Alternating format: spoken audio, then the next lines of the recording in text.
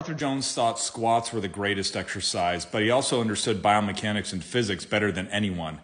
Here's him breaking down the strength curve years ago, yet coaches still today don't understand it. Let's take a look. Your strength varies enormously in the performance of a squat.